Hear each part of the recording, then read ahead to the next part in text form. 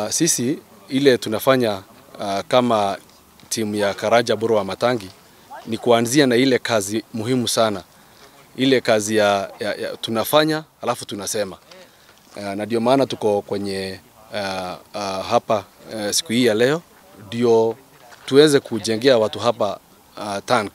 shida zenye wako nazo za maji ziwafike mwisho, ndio wakuwa wanakunywa maji safi ndio wakuwa na, wa, ile tu, tuanze kupigana na zile magonjwa zinakujaga kwa sababu ya ile maji chafu, watu wana, wana, wako na uzoefu wa kukunywa,